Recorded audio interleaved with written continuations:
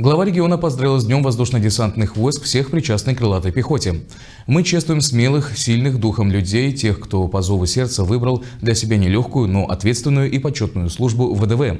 В историю вооруженных сил воздушно-десантные войска вписали немало ярких страниц. Их отвагой и мужеством создавалась история легендарной крылатой пехоты. В Калмыкии в этот день проходят различные мероприятия, в том числе возложение на мемориальном комплексе «Вечный огонь» и автопробег. А наши талантливые художники Дарджиут Насонов и Максим Халгаев к этому празднику создали патриотичное граффити. Отрадно, что ребята чтут подвиги военнослужащих. Боевые заслуги ВДВ стали достойным примером патриотизма и армейской славы для нынешнего поколения. А девиз «Никто кроме нас» еще раз напоминает о том, что они всегда готовы бороться с любыми трудностями, стоять на защите страны ради будущего. Сегодня в рядах военнослужащих России отважно стоят на защите Родины наши земляки. Переживаем, молимся и помогаем нашим ребятам, говорится в поздравлении.